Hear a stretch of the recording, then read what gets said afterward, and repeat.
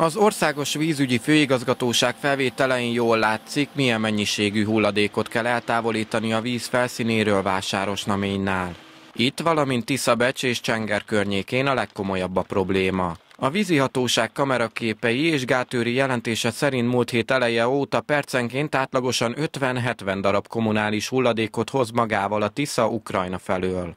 Ilyenkor a folyón szerves és szervetlen eredetű uszadék érkezik.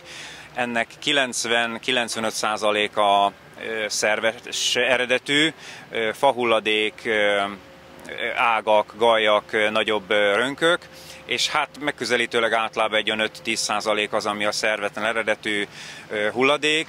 Ez petpalack, egyéb háztartási úszóhulladék, a papucstól a tévéig, hát nagyon sokféle. A Tisza felső szakaszán jelenleg harmadfokú kárelhárítási készültség van érvényben, péntek óta váltott műszakban dolgoznak a vízügy szakemberei. A magyar fejlesztésű géplánc egy éven belüli már hatodszor kerül bevetésre éles helyzetben. Nagyon jó volt a korai jelzés, hiszen fel tudtunk készülni, és a részleges mederzárat el tudtuk készíteni addig, amíg a hulladék ide érkezik. A részleges mederzár jelen pillanatban négy úszóműből áll, két úszókotró, egy kismerülésű úszólétesítmény és egy önjáró úszály.